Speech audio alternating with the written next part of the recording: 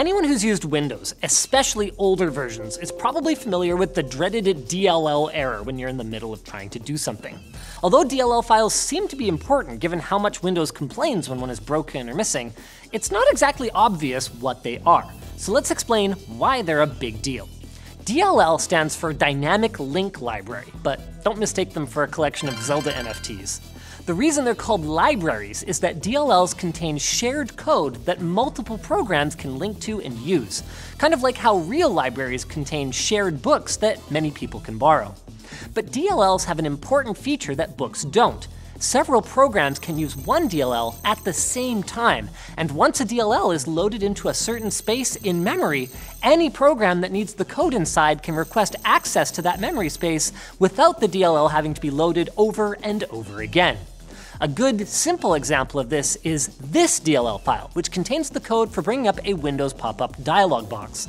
Since so many programs use this functionality, it makes sense for this code to be included in Windows as a DLL instead of writing it into every program from scratch. Another good example is the device driver, which is the code that allows Windows and other programs to communicate properly with hardware. Drivers often take the form of DLLs, though they can appear as .sys files in Windows Explorer, which allows multiple applications to access your GPU, keyboard, or printer, its drivers, at a time. And because DLLs are only loaded up when a program specifically asks for them, instead of every time the program starts, they also prevent your RAM from filling up with tons of unnecessary code.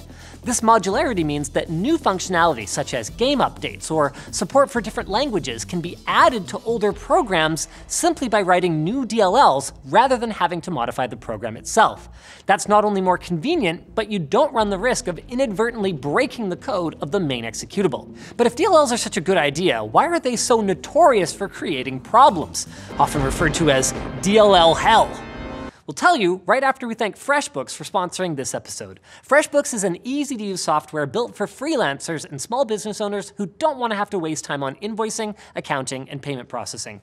FreshBooks users can streamline and automate tasks like invoice follow up and expense tracking with features like their new digital bills and receipt scanner. And with FreshBooks' intuitive dashboard and reports, it's easy to see at a glance exactly where your business stands and turn everything over to your accountant come tax season. Try FreshBooks for free for 30 days with no credit card required at freshbooks.com slash techquickie.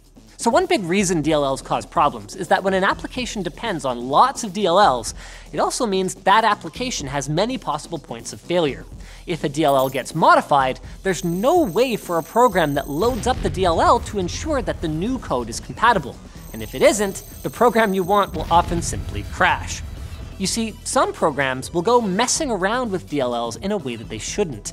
An installer, for example, may decide to modify a DLL in a way that helps that specific application, but can cause errors in the possibly many other programs that need the same DLL, but aren't compatible with the modified version.